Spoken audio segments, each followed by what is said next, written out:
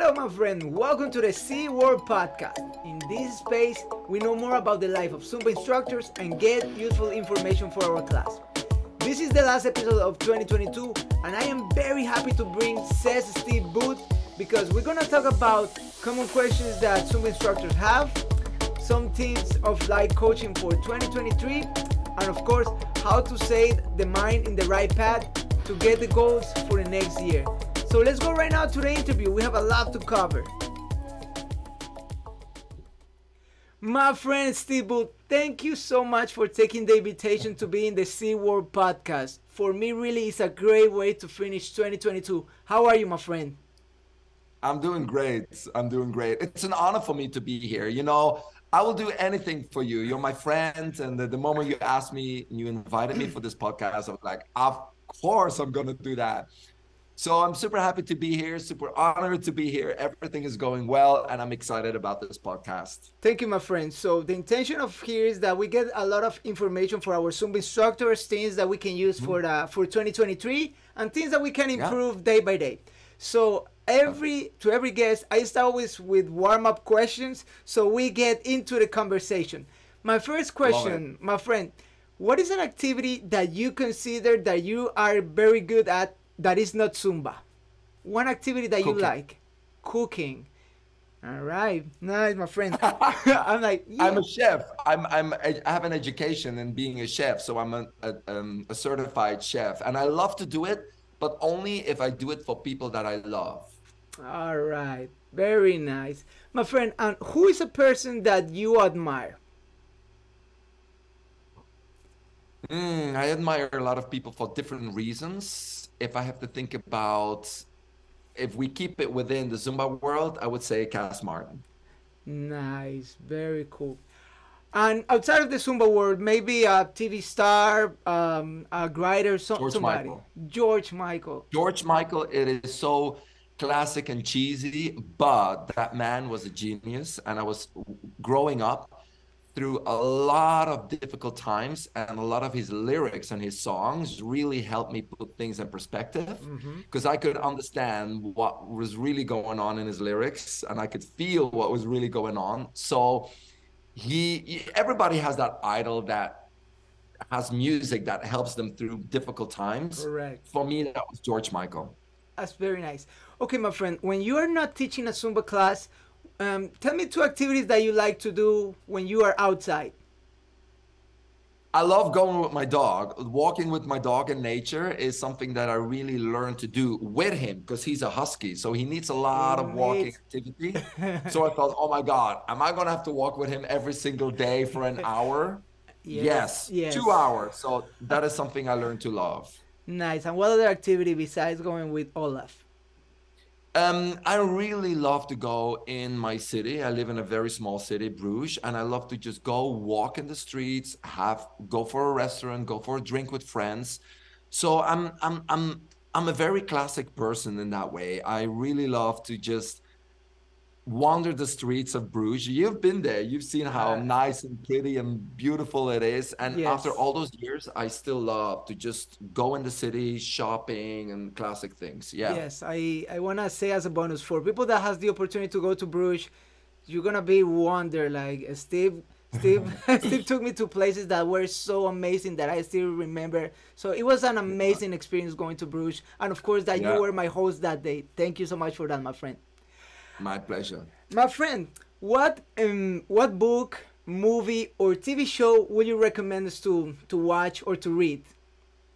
well, I would, I would, tell everybody to go and write, uh, read my book.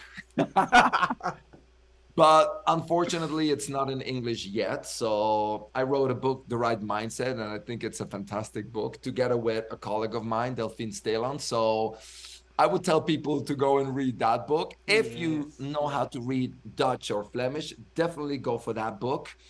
TV shows. Um, you know what I'm watching right now is the the the Netflix show The Crown. Okay. And I, for me, it is so it's amazing because now I'm watching a series or a, a season that has actually happened happened in my life. So a lot of the things um, that I see reflects me back to my youth and also because my mom, her name was Diana as well. Okay. And my mom had short blonde hair, was very classy, looked like a princess as well. So I remember growing up that a lot of people always re- referred my mom to Princess Diana. Mm-hmm. and for, for that reason, now the crown has a very special meaning for me. That's very nice. Okay, my friend, and to end the warm up question, this is the one that get people in trouble. And here it goes. If you go, go for it. if you go to a TV show for a Zumba demonstration and you can just dance one song, which one will you pick right now? La Gota Fria. You you you're you're serious. Cumbia. Yeah. Yeah. Dude, wow. I I expected everything but that. La Gota Fria. Wow. I, I, it is a song that I still today still use in my um, basic one training. And La Gota Fria, um, a lot of people know what it means. It's like you when you get the chills, when you get the um, goosebumps. Wow. Um, but that song brings back such an emotion for me and i every time when i dance it i feel like i want to cry i feel like i get goosebumps i'm like when is this feeling go, gonna go away you know you get goosebumps from something and you just keep watching it over and over and then the goosebumps go away but with gota fria for me it doesn't yeah you know as i say i, I just can't believe because uh, you have bring a lot of music from from ages to zumba and saying the song of La Gota Fria, which is a Colombian song that every Colombian person can relate. Like you are, I'm like, I know. Okay. Yeah, and I, I get the chills thinking about the song, even so. Okay, my friend, those were the warm up questions. Now let's get into the real questions that I want to ask. So, for the next questions, I want to make a little overview about your career, and then here it goes. So from what I read and I know about you, you started around 25 years in 1997. You have done different fitness formats. You've been awarded. You've been sponsored by brands like Reebok and Nike for elite trainers in Belgium, Europe. And around 10 years you became a ZES. I think that you are now crossing 10 years as a ZES. Am I correct? 13. 13 years. Okay, my friend, and one of the things that I see in your social media is that you shout that you have the best job in the world. Mm. So it's amazing to know that. So my question is, what is the biggest benefit of being a Zumba instructor? What is the biggest benefit that Zumba has bring to your life? The biggest benefit is the fact that you can teach a class and inspire people with it. I used to teach a class and I used to motivate people in that hour. Come on, good job, eight more, you got it. And they go home and they trained a benefit that is very superficial, meaning they come to a training because they want to lose weight, they wanted to tone their body, have stronger abdominals. With Zumba, it's different that one hour is just the one hour of teaching, but you inspire them the other 23 hours during the day, during the whole week. Wow. And I think that is one of the most beautiful things that we have as a Zumba instructor is that we don't just motivate people for one hour to have the physical benefits. We inspire them to greater heights. And with greater heights is we make them believe in themselves and we do it with very small techniques. Good job, you got it. I believe in you. And you know the whole Zumba energy is about you can do it. You mean, you're great the way you are. And it sounds very cheesy, but it's actually true. When you keep repeating it, people start believing it. People start changing. I see students now and I go like, you were different 10 years ago. And they say, yeah, it's because of you. And I'm like, why? Because of me. You just inspire me to do other things. And I'm like, how did I even do that? It's a feeling that we make them believe in themselves even when they don't believe in themselves anymore. And that's the beauty of a, being a zumba instructor. Wow. I mean you give us a you give me a great insight and of course why people love to keep going and build a community. Because as you say at the beginning maybe you don't have this um, this self-love or you go through these situations but of course with every class with every friend, with the instructor, you build such a great image of yourself that you want to keep going. It's it's super yeah. necessary, and I think I mean we just passed a pandemic. We just we just passed one of the hardest moments that we have to live in this current life, and many people stick with Zumba to to oh, have yeah. for mindset, like for real. Oh, 100%. 100%. I mean, I have an online platform and teaching my Zumba class one hour in the week is just 5% of what we do in that platform. And what we do in the platform is connecting with each other, supporting each other, and giving each other wings and believing in each other. And we do that through messages. We do that through a webinar where I explain them how to do that. So the, these days, the world of fitness have changed. World of fitness used to be this is what you do with your body, and then it changed to this is what you do with your body, and this is what you eat, and now it changes to this is what you do with your body, this is what you eat, and this is what you do with your mindset. So it's getting bigger and bigger. Fitness is not just about the way we look; it's about the way we feel. So great. Okay, so in 13 years as it says, you have the opportunity to meet a lot of people, train a lot of them, and, of, and I suppose that people come back to you with common questions, or you may have observations for the people that you have coached. So, what kind of questions or things you you have noticed for for Zumba instructors that they could improve in? Confidence.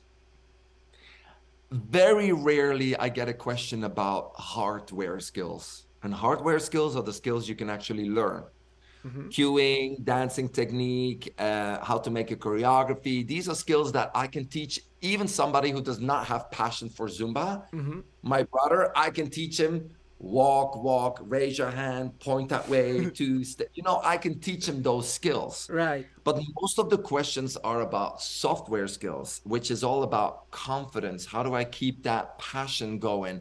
How do I connect with my students? How do I um, if I have a student with um, a bad energy, how can I change that? Why do I suffer when I see that somebody's leaving my class during the class? Wow. So they ask me a lot of questions that have nothing to do with the technique of teaching a class, but it has everything to do with the emotion that we feel during the class. And that's what the most of the questions come from. Okay, okay, Steve. So as as you mentioned, uh, confidence is one of the things that they approach you the most and and I know that this is a skill that it takes time to develop, but what can we what can be a tip for a for a person that that sees that situation that receives a, a complaint from a student or maybe sees somebody leaving the class and maybe that affects them? What is something that this person can can uh, do to to get back to get to his mindset to the right mindset to to do his zumba class? That's very simple. When you feel a certain emotion, let's say you're insecure, it's like you're wearing glasses, the glasses of insecurity. First time you got to teach, you got to sub a class, you walk in and you feel very insecure because you think that the other instructor is better and the students will look at you and they will say, oh my God, that's another instructor, let's get out of here. So we start seeing everything in a completely different way. That means when you're insecure and you're on stage and you're teaching for 20 people, and one of the 20 people is looking at their watch, hmm. immediately your insecurity will create a story. Oh my God, she hates you. She's looking at the clock to see when, as the class is going to be over, she wants to go home. right? yes, yes. So we start to judge without knowing the facts because we created a story, your insecurity is creating a story that is making your insecurity even bigger. But it could very easily be that that woman is training and doing the heart rate and checking how many calories she's burning, where's her heart rate? Or she's going like, oh, I only can stay for 50 minutes because I don't have a babysit, so I got to get home. So I have to skip the last 10 minutes of the class. So they look at their watch and then they walk out before the cl- the end of the class mm. with a very a, a, reason that is very um, acceptable. You know, 50 minutes for her was better than no class at all. But we, as an instructor, get insecure. We see that, we blame ourselves. The most important thing is that we create an image of that person we think, ah, that's the woman who hates my class, and she's always doing this, and she's always talking to her friend about me. And we judge them and we create an image mm. because what we do is we create an image to them. So we are not guilty of being insecure. It's their fault. They are talking about us. And it's not true. So the most important lesson that I always teach instructors is when you start, don't judge if you don't know the facts. Whatever you see that is giving you a negative story, somebody leaving, two people talking, somebody looking at their watch, somebody doing this, you don't know the story, why they do it. It's your insecurity that's creating a negative story, but could easily be a positive story. Wow. Don't judge if you don't know the facts. I'm gonna put that I'm gonna put that in my board. exactly. And it's a life lesson. You have to do it in life as well. When you walk down the street and you have a, a weird hat on, and you're insecure about the hat, all of a sudden you see everybody talking about it and looking at you and pointing at you, and you think, "Oh my God, look, she thinks it's a stupid hat. She thinks it's this," and you don't know that. They might say, "That's what I love." Oh my God, look at that hat. We don't know the story behind it. it the story that we're creating is done by our our insecurity. Amazing. Thank you for that. Really, really helpful. Okay, Steve. Pleasure. many many people that become a Zumba instructor, they don't come from a fitness background. They do because of mm-hmm. the passion and dancing. Now you you came, you learn a lot about fitness and jump into Zumba. So my question is, um, what what things from the fitness world should we focus or could we learn that could help us improve our classes? Well, the whole physical benefits. I think it's very important as a Zumba instructor that you do have a knowledge of fitness, physical fitness. You do, you do need to know what are um, important muscle groups to work, what you should not do in a warm up, the reason why you should not do it, because they learn you shouldn't do that, you have to do this, this is your technique. But you will gain confidence when you start knowing the reason why you shouldn't do that and why you need that warm up. So they always, the classic thing is knowledge is power and in this case, it's true. When people are insecure about their classes, most of the time is because they think that they're a fraud. I'm okay. teaching a Zumba class starting from zero. Oh my God, should I even be here? I mean, all the other instructors are so skilled and have so much knowledge. Mm. Well, there is your answer. If you feel sometimes like, oh, maybe I don't know enough, mm-hmm. it's probably that you don't know enough. Maybe I should take a fitness education. Well, that's probably because you should take a fitness education. And sometimes you can take educations for a couple of weekends or even a couple of days and already get a basic certification. And I think a lot of people should really do that. If your career is really, that's why we consider Zumba as a fitness program. Okay. When you do a dance program, we train people. A lot of people say Zumba is a dance program, but it's not because dancers, we we train them in technique and once they can do a certain technique, we train them to do that technique even bigger. You can do two turns, we'll train you to do three turns. You can do a split, we'll turn you to jump and do a split. With Zumba, we don't do that. Once you have a basic technique, we stay with that basic technique and we just change music and movements, mm-hmm. but it doesn't get more complex. Okay. So we are considered as a fitness program, and I do encourage most instructors to really take a fitness program and, and take a fitness certification so you get that knowledge. True.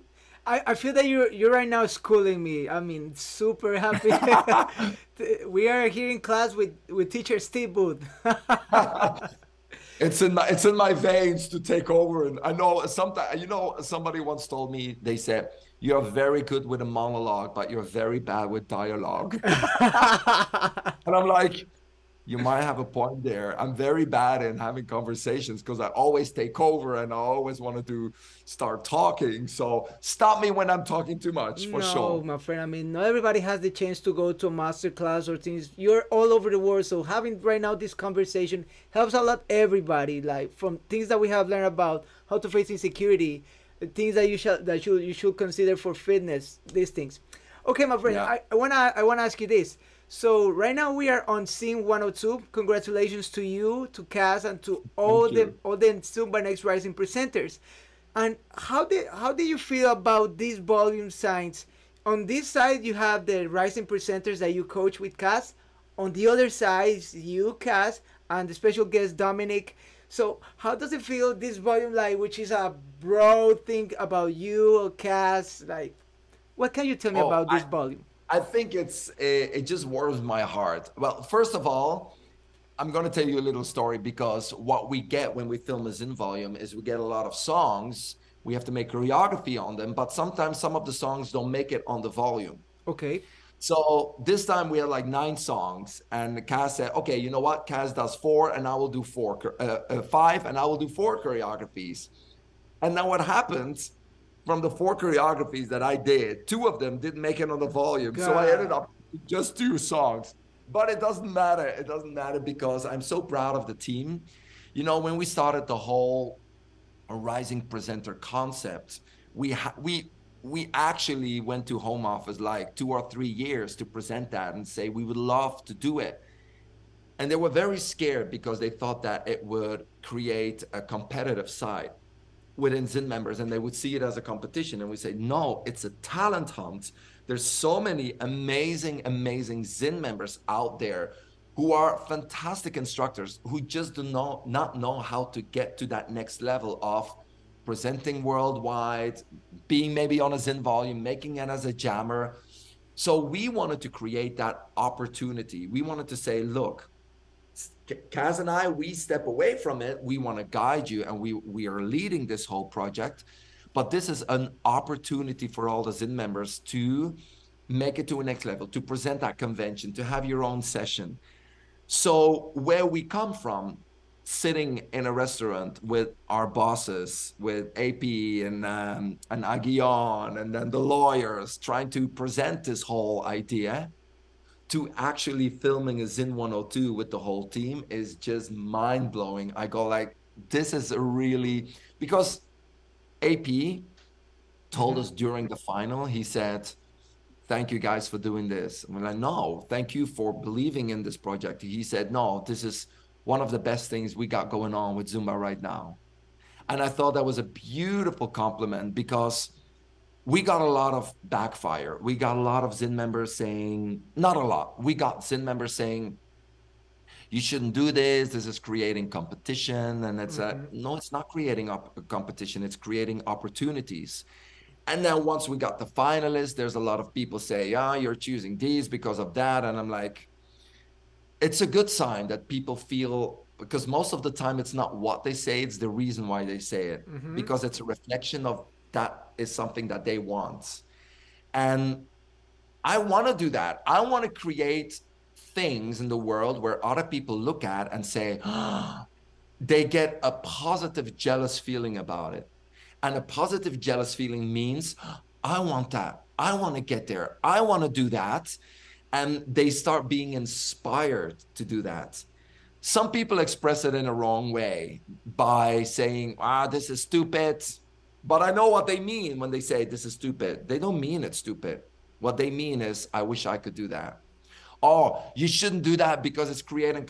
It's not what they say, it's the reason why they say it. So I only see it as a very positive project of le- giving Zin members an opportunity. So I'm super proud to do this uh, 102 with the whole team, and they did a fantastic job. Amazing, and as as you mentioned, like finally having this opportunity, uh, refreshing, seeing new faces in in a volume. It makes me think about, of course, uh, what is gonna be uh, Zumba Next Rising Presenter for 2023 because uh, now the community sees that these opportunities are getting real like shooting a Zin volume, maybe being invited to a Zumba festival, maybe going to an academy, like like you say, yeah. opening opportunities that that that help a lot of people, and not just the winner. Like most of these no, these people that exactly. went to the final, and also. You know, one of the things that Morgan say that Morgan say in the interview that I did to her was that she participated two times before this one.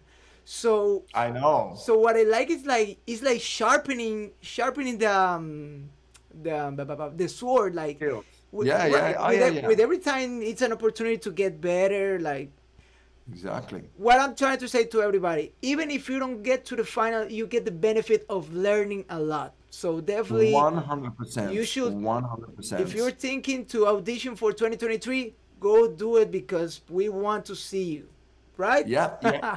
Absolutely. And you know, th- th- there's only five finalists, or sometimes six. it depends on if we cannot choose. Um, but it doesn't matter. I mean, those five finalists represent every, all the Zin members, first of all. And then, second of all, even if you participate, we watch every single video. I got people mailing me saying, Oh, I saw on the YouTube channel that you didn't watch the video. And I go to their video and I said, I've seen that video five times. so I don't know what they see because sometimes they see there's like zero views. We watch every single application from one till we had over 700 every single one of them i'm sitting in the morning opening my computer with my coffee going over every single application together with kass. So we see you guys and we see what an amazing job that you guys do. And we what is very important is that even if you don't make it it's a learning lesson for you. Because filming yourself watching yourself you start to realize we had people who were so upset that they didn't make it the first year. And then they make it years later. Mm-hmm. and i said do you remember your first video the first year? They said oh my god. I really believed that i would make it to the final. And then i watched that video and i go like what was i even doing? So they have to they have to learn and they have to trust us. Nice. we're doing this with the best um, intentions we want to give everybody an opportunity and some people apply four or five times already and did not make it. And i feel for them because i go like oh I've... but it's like a marathon.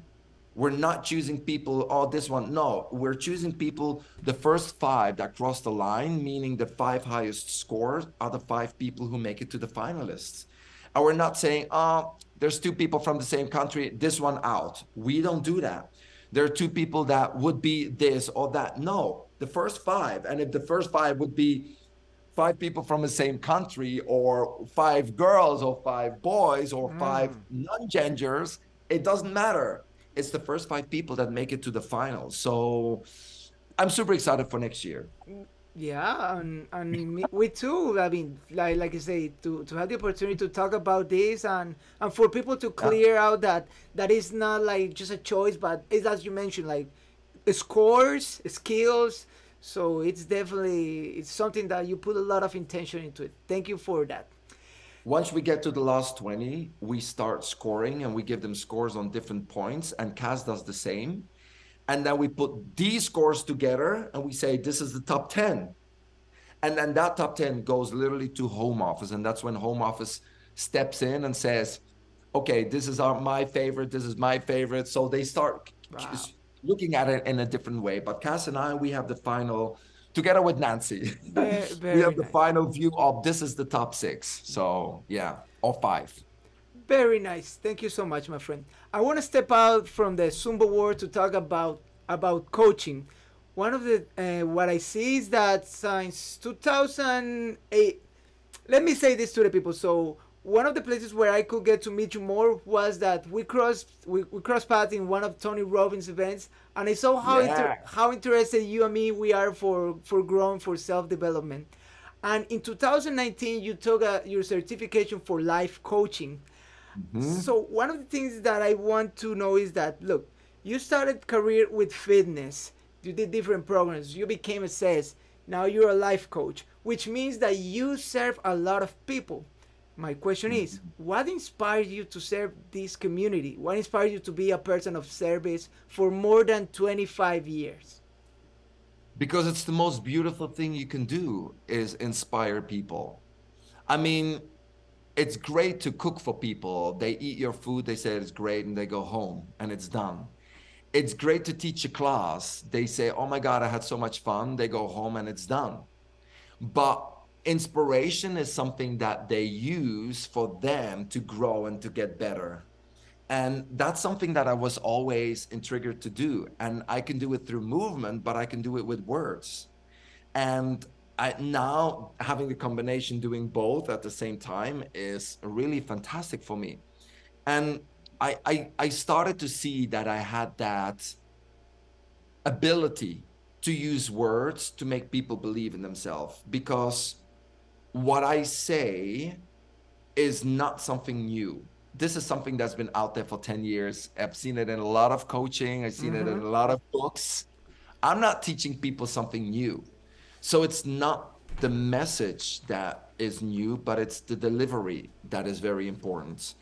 and that's why i think that some instructors or some teachers in school why do they teach? And i'm just looking at them i'm i'm in I'm, i mean i'm mesmerized. And i remember everything they say it's because the way they say it. And okay. then you have another teacher delivering the same message and it just doesn't get stuck or doesn't stick. Okay. And and I found that that was something that I was able to do to bring a message abroad or across to people because I've been in very difficult times in my life and I I simplify messages very easy with an example where people go like, yeah, that's exactly what I needed to hear. That's now I get it. Now I understand it. So I'm very blessed that I feel that this is something that I can do for people. Nice. Okay, my friend. But my um, let's say we have very clear what is a fitness coach. We have very clear who's a basketball coach, an academics coach. But people is asking always, what is a life coach, or what can a life coach do for me? So yeah, yeah. That's a that's a very good question because actually I don't really like the word life coach because people go like, what is a life coach? for me, I am feeling that I'm getting very Uh, specific with my coaching and it really goes to confidence coaching. So i almost feel like i'm a confidence coach meaning confidence in something that you have to train. When you want to train your bicep you cannot do one curl and say yeah i've done one curl. I don't have to do anything for the rest of my life. Okay. You need to repeat it. The tool is a weight right? Right then you got to do it the movement but you have to keep doing it before you see results. Mm-hmm. confidence is the same thing. We have different tools to build confidence. Don't judge if you don't know the facts. Um, visualize really look at how you would look with confidence. Like when people step into a room for a job interview 90% of the people are visualizing a table with three people in a gray costume with a pen and with glasses ready for to interview you. We visualize negative images and ne- negative situations. So a tool would be positive visualization. So there's so many tools out there. Then you got to do it and you got to repeat it even though when you feel like you have the confidence you got to keep training it so what I do as a life coach is really specific that I really love to go on confidence coaching and teach people the skills how to build confidence. But there's so many life coaches out there that train in different ways to start a business, to learn to see what potential you have, or even when it goes to relationships and stuff like that. That is something I step away from because I truly believe that that is more for a specialist, somebody that's really specialized in that. Mm-hmm. So I'm not a psychologist at all. I'm just a man with a lot of experience and with the tools that I'm teaching, I did them. It's not just let me see what tools do we have. Okay, let me teach you that. No. I really did them. I really had to do that. I mean, I'm brought up in a world that is not I'm not supposed to live the life that I live today mm-hmm. if I look at how I was brought up. So we can make that change. That's a long answer. I'm sorry. No, as I say, you're teaching. yes. is the, is the My first, monologue again. is, is the is the time when I can ask these questions for people to have clarity, and we like to know that when we are in need of, of growing our confidence, we can look for Steve Boedt and his program of the inner circle. That's Yeah, that's yeah. a great resource. So people Yeah. you have to get to know more about Steve and we're gonna give you information in the next in the next moment. Steve, so 2023 what I what I always like to do for every year is to set goals because I think that this is this is gonna juice the year. This is gonna give me perspective. uh, It's gonna give me purpose. And I wanted to ask you, do you have a strategy for setting a goal and the steps to achieve it? Do you use something that you define? What what strategy do you use for this? I always say make sure you set manageable co- goals. Manageable goals is you sometimes we we always say you got to reach for the stars and if you land on the moon you're also happy. But I don't always agree with that because when I set a big goal, I feel like the pressure on my shoulder is really high. So I always try to set a small goal, but maybe for the first month and then another goal for the next month. A lot of people set a goal for the rest of their life. Mm. Try to say, you know what, I want to be, I want to start working out. I want to live healthy. Okay, January, start with changing your breakfast. Don't say from now on I'm on a diet. Wrong word, wrong timing. Start eating healthy. From now on, I'm going to change my breakfast. Never in the month of January, I'm going to have a bad breakfast. So I almost divide them in a minimum, a medium, and a maximum goal. A minimum goal is so small that 100% you know you can achieve this. So you got to make sure it's so small. Let's just say your goal is to eat healthy. Your minimum goal has to be something that you know that every single day you will not skip it. If you're going to say, my minimum goal is to not eat any junk food for the whole month, mm-hmm. There is a chance that you might not achieve that. So it has to be really small, like from now on, my breakfast is going to be super healthy. Medium goal is something that you should be doing, which is probably eating healthy every single meal, right? Right. right. But you got to say, okay, my medium goal is maybe eating healthy, and I allow myself to have one, two, three meals in a week. Maximum goal is when you go all the way. Um, no more sugar, no more fat, no more carbs, only healthy. Very difficult to achieve. So put them in three goals. A minimum goal is something that you will never break, you will always do. A medium goal is something that you should be doing. This is healthy living. And then a maximum goal is really going all the way, which is very hard to achieve. So people kind of never break that minimum goal. They try to stick with the medium goal. And if they can, they really try to achieve that maximum goal. And I also give myself permission to fail. Yes. Giving myself permission to fail makes, let me give you an example gym.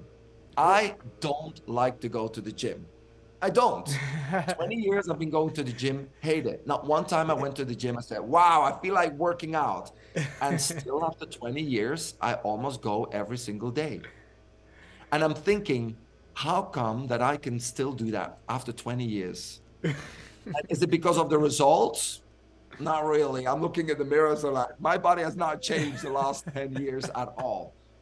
So what I do is I said, okay, I don't want to go to the gym. At least put on your gym clothes. I put on my gym clothes. After you, you put on your gym clothes, you can decide if you want to go or not. Guess what? I put on my gym clothes and I go, okay, you know what? The next step, just go to the gym, mm-hmm. stand in front of the gym. And if you still don't want to go, you can go back home. So I give myself permission not to stop and I go like, okay, I can do that to the gym. So I take all these little steps of should I do that when I think of a one hour gym, oh, I would give up. So I think just go to the gym. Once I'm in the gym, I say, you know what? Just do two exercises. That's nothing. Two. Okay. This morning, same thing. I was like, okay, I don't feel like working out. Okay, Steve, just do the two exercises, done. And after the two, I said, okay, just do two more. and I always end up doing a full workout. Always. And I go home and I said, that's really a technique that works for me. I give myself the permission to fail. When I go for a job interview, I want to sub a class. Give yourself permission to fail. Because when you give yourself permission to fail, you will get rid of the pressure that you're creating for yourself and you will feel way more relaxed to do what you have to achieve. So, yeah. Okay, wow. Yes, yes you know, I want to add also um, in one of your Instagram posts, I read something that stick to me the whole week, and I'm planning to use. And, some, and it, this says that when you set a goal, sometimes you don't you don't have to know exactly where you're going. What you have to know is that you cannot stay in the same place. And exactly. For, and that really hit me a lot because, of course, we envision things, and as you say, maybe we put we put things that are hard to achieve. I have to say, but just to know that it's gonna move you forward from the place that you are currently is enough motivation. You cannot stay here. no. Another no. another one for my board for real. I got yeah. that for 2023. I cannot stay in this place. And and do you know how I see that? If I would go back 20 years from now and I would say, why where do you want to go? What do you want to do? It's not what I'm doing today Yeah. I have a dream job today, and I never thought that that job even existed. Never. So if I 20 years ago would have said, This is my only goal, this is where I have to go, I would have never su- succeeded. You have to look at your path as a tree. You're on the bottom of the tree, all you got to do is climb up. And all of a sudden, oh, wait a minute, there are more possibilities here. Okay, let me take that one. Oh, wait, there are more possibilities and more and more.